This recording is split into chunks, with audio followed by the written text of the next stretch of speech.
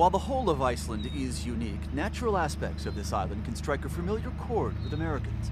The mountains that might stand west of Denver, the hills that would fit into the heart of San Francisco, the bay water that could fill a quiet corner of the Boston Harbor. But the extent to which Iceland now uses these natural aspects, its glaciers, its rivers, its underground heat, all to generate electricity, that is something that is undeniably unfamiliar to the States. When I was growing up in Iceland, and into the 50s and the early 60s, over 80% of our energy came from imported oil and coal. Now, as you said, 100% of the electricity is from domestic clean energy resources, almost 100% of the heating of the houses. This uh, energy revolution that the world is looking for now, we have uh, actually underwent that revolution in, in many aspects.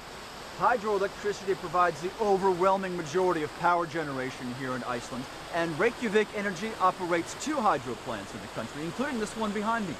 It generates 3.8 megawatts of electricity every single year, the very same capacity it had when it first opened, all the way back in 1921. Uh, we're still tapping into hydro, and, uh, and uh, as a matter of fact, uh, there are uh, uh, we are seeing some similar developments right now as we did uh, um, uh, in the early days of, of, of hydroelectricity. There are, there are farmers and landowners putting up small plants for domestic use and, and giving the rest or, or tapping the rest into the national grid. Hydro's a great energy, absolutely. I mean, it's the only way you can really store large amounts of energy okay, true hydroelectric power. It has also the big advantage of being able to put back into the network very quickly. Uh, the turbines just, you know, you flick the switch and the power comes on. And that is an absolute must, I'd say, uh, if you have other sources which are, like the renewables, intermittent. So wind power, for instance. If you can couple wind power with hydro, you really have it made. Iceland, though, has little room or need for the intermittent renewables Gauthier referred to, solar and wind.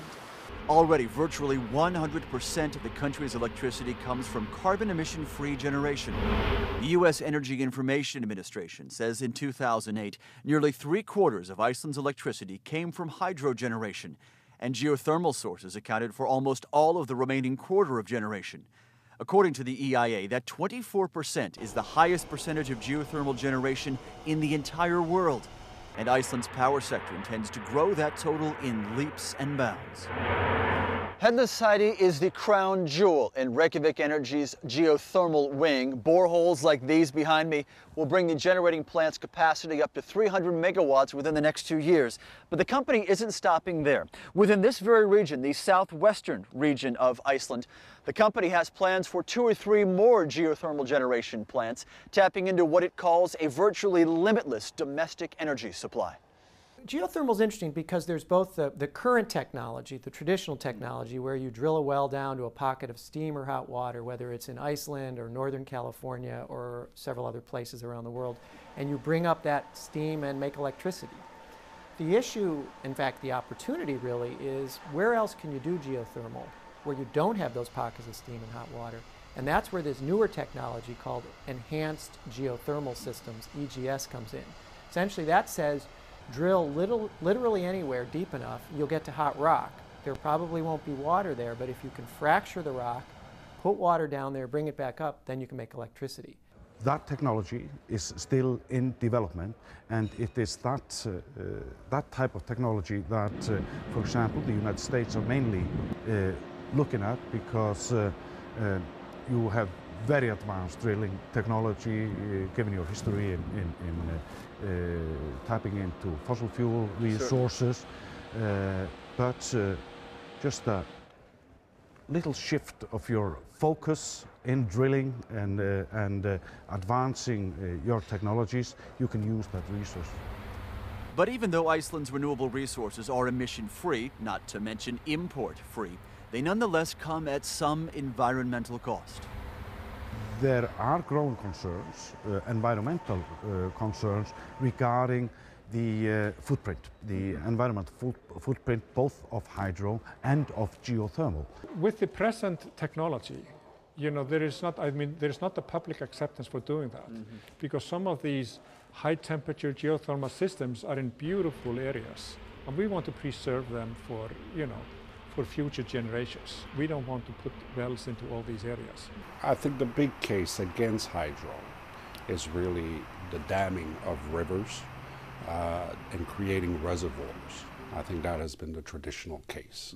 Uh, I mean, hydro has been built for many, many years. I mean, we know how to mitigate the environmental impacts of this today.